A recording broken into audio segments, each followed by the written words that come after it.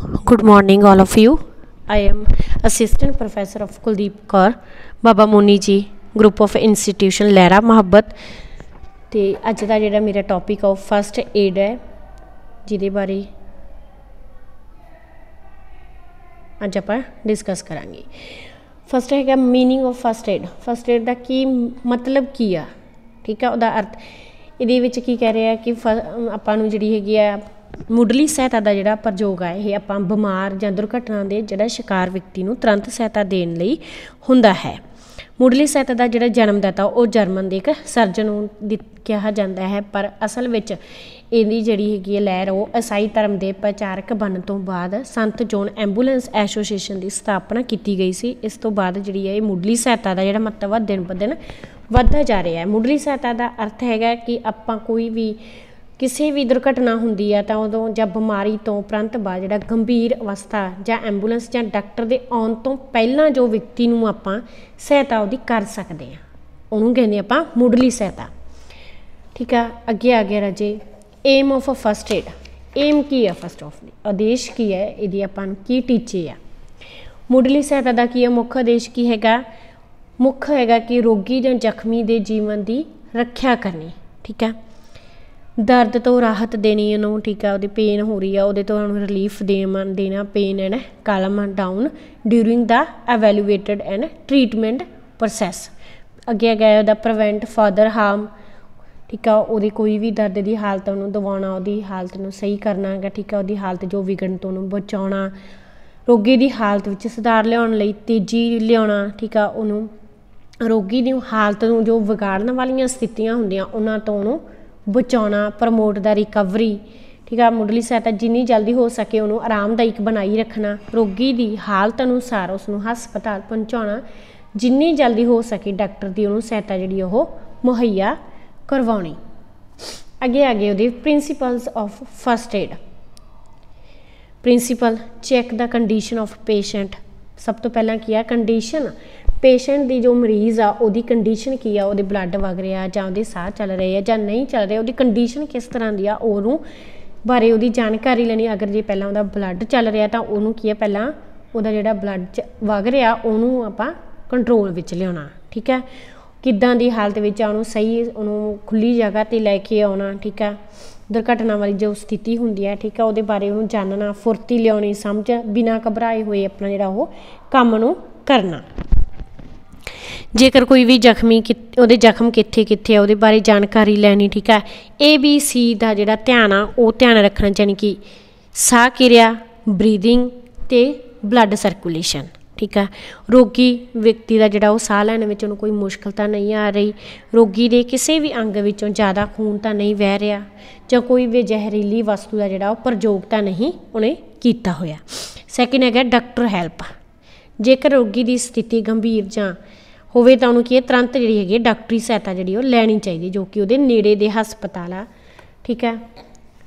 ਅੱਗੇ ਆ ਗਿਆ ਰਾਜੇ, ਤੁਹਾਡਾ ਆਰਟੀਫੀਸ਼ੀਅਲ ਬਰੀਥਿੰਗ ਆਰਟੀਫੀਸ਼ੀਅਲ ਬਰੀਥਿੰਗ ਦੇ ਕੀ ਆ ਜੇਕਰ ਰੋਗੀ ਨੂੰ ਸਾਹ ਲੈਣ ਵਿੱਚ ਕੋਈ ਵੀ ਮੁਸ਼ਕਲ ਆ ਰਹੀ ਹੈ ਤਾਂ ਜਾਂ ਸਾਹ ਰੁਕ ਰਿਹਾ ਹੈ, ਤਾਂ ਉਸ ਨੂੰ ਜਿਹੜਾ ਬਨੌਟੀ ਸਾਹ ਦਿਵਾਉਣ ਦਿਵਾਉਣ ਦਾ ਪ੍ਰਬੰਧ ਕਰਨਾ ਚਾਹੀਦਾ ਹੈ। ਸੈਕਿੰਡ ਅੱਗੇ ਆ ਗਿਆ ਰਾਜੇ, ਤੁਹਾਡਾ to control the flow of blood ਸਭ ਤੋਂ ਮੇਨ ਕੀ ਆ? To control the flow of blood ਜੇਕਰ ਸੱਟ ਜਾਂ ਕਿਸੇ ਹੋਰ ਕਾਰਨ ਰੋਗੀ ਦਾ ਜਿਹੜਾ ਖੂਨ ਉਹ ਵਗ ਰਿਹਾ ਹੈ, ਤਾਂ ਸਭ ਤੋਂ ਪਹਿਲਾਂ ਕਿ ਉਸ ਨੂੰ ਰੋਕਣ ਦਾ ਯਤਨ ਕਰਨਾ ਚਾਹੀਦਾ ਇਸ ਦੇ ਲਈ ਕੀ ਹੈ ਪੱਟੀ ਦੀ ਵਰਤੋਂ ਕੀਤੀ ਜਾ ਸਕਦੀ ਹੈ। ਅੱਗੇ ਆ ਗਿਆ ਰਾਜੀ ਤੁਹਾਡਾ। To keep the body warm ਕੀ ਆ? ਬਾਡੀ ਨੂੰ ਜਿਹੜਾ ਉਹਦੇ ਸਰੀਰ ਨੂੰ ਕੀ ਆਪਾਂ ਗਰਮ ਰੱਖਣਾ, ਜੇ ਉਹ ਠੰਡਾ ਪੈ ਗਿਆ ਰਾਜੇ, ਠੀਕ ਆ? ਖੂਨ ਵਗ ਰਿਹਾ ਤਾਂ ਜਿਹੜਾ ਉਹਦੇ ਸਰੀਰ ਵਿੱਚੋਂ ਉਹਦੇ ਨਾਲ ਕਿ ਉਹ ਬੇਹੋਸ਼ ਹੋ ਜਾਊਗਾ, ਉਹਨੂੰ ਦੁੱਧ ਜਾਂ ਚਾਹ ਪਿਲਾਉਣੀ ਚਾਹੀਦੀ ਜਿਹਦੇ ਨਾਲ ਕਿ ਉਹਦਾ ਸਰੀਰ ਜਿਹੜਾ ਉਹਦੀ ਬਾਡੀ ਉਹ ਗਰਮ ਰਵੇ। ਅੱਗੇ ਆ ਗਿਆ ਰਾਜੇ ਬੈਂਡੇਜ ਪੱਟੀ, ਜਿਸ ਦੀ ਜਗ੍ਹਾ ਤੇ ਉਹਦੀ ਸੱਟ ਲੱਗੀ ਹੈ ਜਾਂ ਖੂਨ ਵਗ ਰਿਹਾ ਹੈ, ਉਸ ਜਗ੍ਹਾ ਤੇ ਉਹਦੀ ਦਵਾਈ ਲਗਾ ਕੇ ਪੱਟੀ ਉਹਨੂੰ ਬੰਨਣਾ ਚਾਹੀਦਾ ਹੈ। ਅੱਗੇ ਆ ਗਿਆ support to the fracture bone ਠੀਕ ਹੈ, ਕਈ ਵਾਰੀ ਕੀ ਹੈ, ਸੱਟਾਂ ਜ਼ਿਆਦਾ ਲੱਗ ਜਾਂਦੀਆਂ, ਜਿਹਦੇ ਨਾਲ ਕੀ ਹੈ, ਹੱਡੀਆਂ ਦੀ ਜਿਹੜੀ ਉਹ ਟੁੱਟ ਭੱਜ ਹੁੰਦੀ ਹੈ, ਠੀਕ ਆ ਉਹਨੂੰ, ਉਹਨਾਂ, ਉਸ ਬਾਹ ਨੂੰ ਜਾਂ ਲੱਤ ਨੂੰ ਕੀ ਹੈ, ਸਹਾਰਾ ਦੇ ਕੇ ਆਰਾਮਦਾਇਕ ਸਥਿਤੀ ਵਿੱਚ ਉਹਨੂੰ ਰੱਖਣਾ ਚਾਹੀਦਾ, ਕਿਉਂਕਿ ਜਿਹੜਾ ਫੱਟੜ ਜਾਂ ਜ਼ਖਮੀ ਭਾਗ ਆ, ਉਹ ਲਟਕਦੇ ਰਹਿਣ ਦੇ ਨਾਲ ਕਿ ਉਹਨੂੰ ਜ਼ਿਆਦਾ ਦਰਦ ਮਹਿਸੂਸ ਹੋਵੇਗਾ। ਅਗਲਾ ਪੁਆਇੰਟ ਆ ਗਿਆ to crowd keep the crowd away from patient ਰੋਗੀ ਦੇ ਕੋਲੋਂ ਕੀ ਆ ਜਿੰਨੀ ਵੀ ਜਿਹੜੀ ਭੀੜ ਆ, ਉਹਨੂੰ ਦੂਰ ਕਰ ਲੈ ਕੇ ਜਾਣਾ। ਉਹਦੀ ਭੀੜ ਨੂੰ ਜਿਹੜਾ ਘੱਟ ਕਰਨਾ, ਉਹਦੇ ਜਿਹਦੇ ਨਾਲ ਕਿ ਉਹਨੂੰ ਆਕਸੀਜਨ ਆ ਜਿਹੜੀ, ਉਹ ਜ਼ਿਆਦਾ ਮਾਤਰਾ ਦੇ ਵਿੱਚ ਉਹਨੂੰ ਮਿਲੇ। ਅੱਗੇ ਅੱਗੇ ਕੰਸੋਲੇਸ਼ਨ ਦ ਪੇਸ਼ੈਂਟਸ ਰਿਲੇਟਿਵ ਕਿ ਉਹਦੇ ਜਿਹੜੇ ਸੰਬੰਧਿਤ ਰਿਸ਼ਤੇਦਾਰ ਆ, ਉਹਨਾਂ ਨੂੰ ਕੀ ਹੌਸਲਾ ਦੇਣਾ ਚਾਹੀਦਾ ਹੈ ਕਿ ਕੋਈ ਗੱਲ ਨਹੀਂ, ਇੰਨੀ ਜ਼ਿਆਦਾ ਸੱਟ ਨਹੀਂ ਵੱਜੀ, ਤਾਂ ਜੋ ਕਿ ਆ ਜੇ ਉਹੀ ਹੌਸਲਾ ਢਾ ਗਏ, ਤਾਂ ਕੀ ਆ ਪੇਸ਼ੈਂਟ ਆ ਜਿਹੜਾ, ਉਹ ਆਟੋਮੈਟਿਕਲੀ ਵੀ ਮੈਨੂੰ ਜ਼ਿਆਦਾ ਸੱਟ ਲੱਗੀ ਆ, ਉਹ ਵੀ ਉਹਨਾਂ ਨੂੰ ਦੇਖ ਕੇ ਹੋਰ ਜ਼ਿਆਦਾ ਘਬਰਾ ਜਾਂਦਾ। ਅੱਗੇ ਆ ਗਿਆ ਡੂ ਵਰਕ ਵਿਦ ਲੋਇਲੀ ਜਿਹੜਾ ਆਪਣਾ ਕੰਮ ਆ, ਉਹਨੂੰ ਜਿਹੜਾ ਆਪਣੇ ਕੰਮ ਨੂੰ ਜਿਹੜਾ ਹੈਗਾ ਪੂਰੇ ਜੋਸ਼, ਸੂਝ-ਬੂਝ ਦੇ ਨਾਲ ਵਰਤਣਾ ਚਾਹੀਦਾ, ਇਮਾਨਦਾਰੀ ਨਾਲ ਕਰਨਾ ਚਾਹੀਦਾ, ਕੋਈ ਭੇਦਭਾਵ ਜਿਹੜਾ ਆਪਾਂ ਨੂੰ ਨਹੀਂ ਕਰਨਾ ਚਾਹੀਦਾ। ਅੱਗੇ ਆ ਗਿਆ ਰਾਜੇ keep make aware the relative with truth ਇੰਨਾ ਵੀ ਨਾ ਵੀ ਜਿਹੜੇ ਉਹਨਾਂ ਦੇ ਰਿਸ਼ਤੇਦਾਰਾਂ ਨੂੰ ਕੋਈ ਵੀ ਹੈ, ਉਹਦੇ ਸੱਟ ਕਿੰਨੀ ਕੁ ਲੱਗੀ ਆ, ਉਹਦੇ ਬਾਰੇ ਜਿੰਨੀ ਕੁ ਹੋ ਸਕਦੀ ਹੈ ਠੀਕ ਠੀਕ ਜਾਣਕਾਰੀ ਦੇਣੀ ਚਾਹੀਦੀ ਹੈ ਤਾਂ ਜੋ ਉਹ ਵੀ ਸਤਰ ਰਹਿਣ, ਹੋ ਸਕਦਾ ਕਿਹੜੇ ਵੇਲੇ ਕਿਸੇ ਵੀ ਚੀਜ਼ ਦੀ ਜਿਹੜੀ ਆਪਾਂ ਨੂੰ ਜ਼ਰੂਰਤ ਪੈ ਸਕਦੀ ਹੈ। ਠੀਕ ਹੈ, ਅੱਗੇ ਆ ਗਿਆ ਰਾਜੇ ਤੁਹਾਡਾ required material for first aid first aid ਦੇਣ ਲਈ ਜਿਹੜਾ ਆਪਾਂ ਨੂੰ ਮਟੀਰੀਅਲ ਚਾਹੀਦਾ, ਸਮਗਰੀ ਆ, ਉਹ ਕਿੰਨੀ ਕੁ ਚਾਹੀਦੀ ਆ? ਉਹਦੇ ਵਿੱਚ ਫਸਟ ਹੈਗਾ clean medical cotton and medicine ਚਾਹੀਦੀ ਆਪਾਂ ਨੂੰ, ਠੀਕ ਹੈ ਜਿਹੜੀ ਡਾਕਟਰ ਦੀ ਰੂਹ ਆ ਦਵਾ, ਉਹ ਉਹਦੇ ਕੋਲੇ ਜਿਹੜੀ ਸਾਫ਼, ਸਹੀ ਤਰੀਕੇ ਨਾਲ ਸਾਰੀਆਂ ਦਵਾਈਆਂ ਉਹਦੇ ਕੋਲੇ ਮੌਜੂਦ ਹੋਣੀਆਂ ਚਾਹੀਦੀਆਂ, ਜਿਵੇਂ ਬੀਟਾਡੀਨ ਹੋ ਗਈ, ਸੀਜ਼ਰ ਹੋ ਗਈ, ਠੀਕ ਆ। ਅੱਗੇ ਆ ਗਿਆ ਸੇਫਟੀ ਪੈਨ ਚਾਹੀਦੇ ਆ ਟੇਪ ਹੋ ਗਈ, ਪੱਟੀ ਬੰਨਣ ਦੇ ਲਈ ਸੀਜ਼ਰ, ਠੀਕ ਆ। ਮਾਚਿਸ ਬਾਕਸ ਐਂਡ ਸਪਿਰਟ ਲੈਂਪ ਠੀਕ ਹੈ, ਰਾਤ ਨੂੰ ਵੀ ਸੱਟ ਲੱਗ ਸਕਦੀ ਆ। ਸਪੂਨ ਇਨਥਾਮਲ ਹੋ ਗਿਆ ਬੈਂਡੇਜ ਹੋ ਗਈ ਪਲੱਕਰ ਹੋ ਗਿਆ ਜਾਨੀ ਕਿ ਕੋਈ ਵੀ ਚੀਜ਼ ਜਿਹੜੀ ਉਹ ਖੁੱਬੀ ਵੀ ਹੁੰਦੀ ਆ, ਉਹਨੂੰ ਕੱਢਣ ਦੇ ਲਈ ਠੀਕ ਆ ਹੌਟ ਵਾਟਰ ਬੋਟਲ ਹੋ ਗਿਆ ਆਈਸ ਕਿਊਬਸ ਚਾਹੀਦੇ ਆ ਬੈਂਡੇਜ ਚਾਹੀਦੇ ਆ ਤੇ ਸੋਪ ਐਂਡ ਟਾਰਚ ਠੀਕ ਹੈ, ਜਿਹਦੇ ਨਾਲ ਕੀ ਆ, ਉਹ ਜਿਹੜਾ ਰੋਗੀ ਆ, ਉਹਦੀ ਉਹ ਸਹਾਇਤਾ ਕਰ ਸਕਦਾ ਹੈ।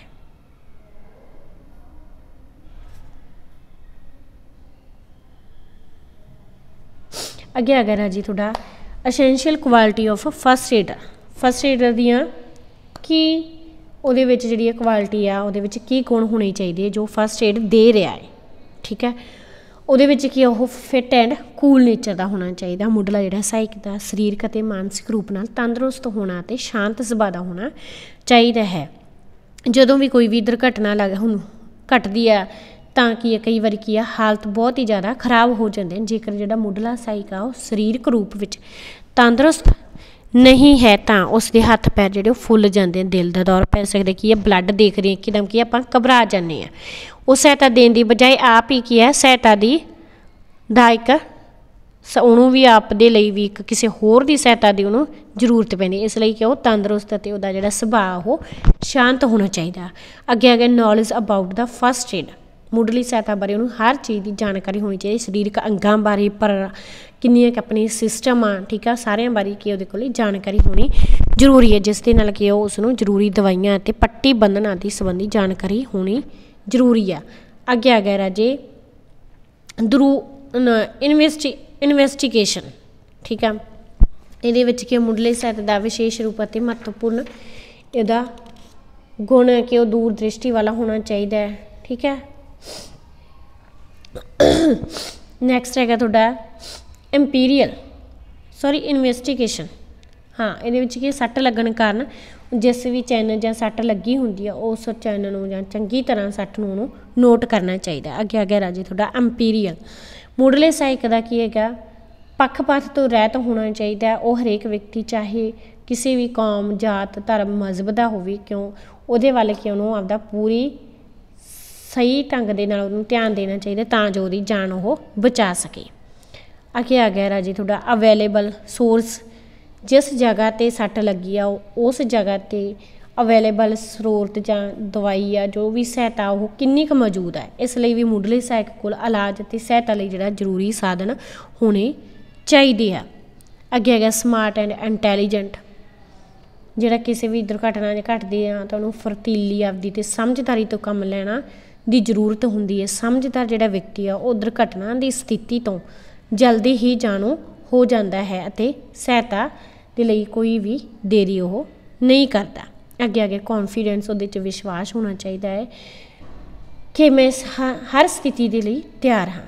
ਹਰ ਵਾ, ਕਈ ਵਾਰ ਕੀ ਸਥਿਤੀਆਂ ਬਹੁਤ ਹੀ ਜ਼ਿਆਦਾ ਨਾਜ਼ੁਕ ਹੋ ਜਾਂਦੀਆਂ। ਉਸ ਵਕਤ ਜੇ ਮੁੱਢਲਾ ਸਾਇਕ ਆਤਮ ਵਿਸ਼ਵਾਸ ਹੀ ਖੋ ਬੈਠੇਗਾ, ਤਾਂ ਉਹ ਜਿਹੜਾ ਰੋਗੀ ਦੀ ਸਹਾਇਤਾ ਨਹੀਂ ਕਰ ਸਕਦਾ। ਠੀਕ ਹੈ ਅੱਗੇ ਅੱਗੇ ਰਾਜੇ ਤੁਹਾਡਾ ਕੂਲ ਨੇਚਰ ਐਂਡ ਪੋਜ਼ਿਟਿਵਿਟੀ ਮੁੱਢਲੇ ਸਾਇਕ ਦਾ ਜਿਹੜਾ ਸੁਭਾਅ ਸ਼ਾਂਤ ਅਤੇ ਆਸ਼ਾਵਾਦੀ ਹੋਣਾ ਚਾਹੀਦਾ ਜੇਕਰ ਮੁੱਢਲਾ ਸਾਇਕ ਅਸ਼ਾਂਤ ਹੋ ਜਾਵੇ ਤਾਂ ਜਾਂ ਨਿਰਾਸ਼ਵਾਦੀ ਹੋਵੇਗਾ ਤਾਂ ਕੀ ਆ, ਰੋਗੀ ਦੀ ਜਾਨ ਬਚਾਉਣ ਵਿੱਚ ਕੀ ਉਹਨੂੰ ਮੁਸ਼ਕਲਾਂ ਜਿਹੜੀਆਂ ਸਾਹਮਣੇ ਹੋਰ ਜ਼ਿਆਦਾ ਆਉਣਗੀਆਂ। ਅੱਗੇ ਆ ਗਿਆ ਰਾਜੇ ਤੁਹਾਡਾ ਭਾਸ਼ਾ ਦਾ ਗਿਆਨ। ਭਾਸ਼ਾ ਦਾ ਗਿਆਨ ਕਿ ਮੁੱਢਲੇ ਸਹਾਇਕ ਨੂੰ ਜਿਸ ਖੇਤਰ ਵਿੱਚ ਉਹ ਹੈ ਉਸ ਖੇਤਰ ਦੀ ਉਹਨੂੰ ਖੇਤਰੀ ਭਾਸ਼ਾ ਦਾ ਜਿਹੜਾ ਪੂਰਾ ਗਿਆਨ ਹੋਣਾ ਚਾਹੀਦਾ ਹੈ। ਤਾਂ ਜੋ ਉਹ ਰੋਗੀ ਨੂੰ ਹੌਸਲਾ ਦੇ ਸਕੇ ਤੇ ਰਿਸ਼ਤੇਦਾਰਾਂ ਨੂੰ ਉਸ ਦੀ ਸਥਿਤੀ ਬਾਰੇ ਜਾਣਕਾਰੀ ਦੇ ਸਕੇ, ਸਮਝਾ ਸਕੇ, ਜੇ ਉਸ ਨੂੰ ਉਸ ਏਰੀਏ ਦੀ ਭਾਸ਼ਾ ਦੀ ਨੌਲੇਜ ਹੋਵੇਗੀ ਤਾਂ ਹੀ ਆ ਉਹ ਦੂਸਰੇ ਉੱਥੋਂ ਦੇ ਲੋਕਾਂ ਤੋਂ ਜੋ ਵੀ ਉਹਨੂੰ ਹੈਲਪ ਚਾਹੀਦੀ ਆ ਜਾਂ ਕੋਈ ਵੀ ਚੀਜ਼ ਦੀ ਉਹਨੂੰ ਜ਼ਰੂਰਤ ਹੈ, ਤਾਂ ਉਹ ਲੈ ਸਕਦਾ ਹੈ। ਠੀਕ ਹੈ? ਇਸ ਕਰਕੇ ਕਿ ਉਹਨਾਂ ਨੂੰ ਭਾਸ਼ਾ ਦੀ ਜਿਹੜੀ ਉਹ ਨੌਲੇਜ ਪੂਰੀ ਹੋਣੀ ਚਾਹੀਦੀ ਆ। ਅੱਗੇ ਅਗਰ ਅਜੇ ਇੰਟੈਲੀਜੈਂਟ ਬੁੱਧੀਮਾਨ ਠੀਕ ਹੈ ਇਹ ਤੋਂ ਪਹਿਲਾਂ ਸੀਗਾ ਨੋਨ ਟੂ ਲੈਂਗੁਏਜ ਨੈਕਸਟ ਹੈਗਾ ਇੰਟੈਲੀਜੈਂਟ ਕਿ ਮੁੱਢਲੇ ਸਾਇਕ ਨੂੰ ਕੀ ਹੈ ਬੁੱਧੀਮਾਨ ਹੋਣਾ ਚ ਚਾਹੀਦਾ ਹੈ ਕਿਉਂਕਿ ਦੁਰਘਟਨਾ ਦੇ ਸਮੇਂ ਬਹੁਤ ਹੀ ਨਾਜ਼ੁਕ ਸਥਿਤੀਆਂ ਜਿਹੜੀਆਂ ਉਹ ਹੋ ਜਾਂਦੀਆਂ ਹਨ ਤੇ ਮੁੱਢਲੇ ਸਾਇਕ ਨੂੰ ਇਹ ਫੈਸਲਾ ਲੈਣਾ ਹੁੰਦਾ ਹੈ ਕਿ ਉਹਨੇ ਰੋਗੀ ਦੀ ਜਾਨ ਨੂੰ ਕਿਸ ਤਰ੍ਹਾਂ ਬਚਾਇਆ ਜਾ ਸਕਦਾ ਹੈ ਇਸ ਲਈ ਮੁੱਢਲੇ ਸਾਇਕ ਨੂੰ ਸਥਿਤੀ ਦਾ ਅੰਦਾਜ਼ਾ ਲਾਉਣ ਤੋਂ ਪਹਿਲਾਂ ਅਤੇ ਬਾਅਦ ਇਹ ਫੈਸਲਾ ਲੈ ਕਰਨਾ ਹੁੰਦਾ ਹੈ ਕਿ ਰੋਗੀ ਦੀ ਜਾਨ ਬਚਾਉਣ ਲਈ ਸਭ ਤੋਂ ਪਹਿਲਾਂ ਕੀ ਕੀਤਾ ਜਾਵੇ, ਜਿਹਦੇ ਨਾਲ ਕੀ ਹੈ, ਰੋਗੀ ਦੀ ਜਿਹੜੀ ਉਹ ਜਾਨ ਉਹ ਬਚ ਸਕੇ।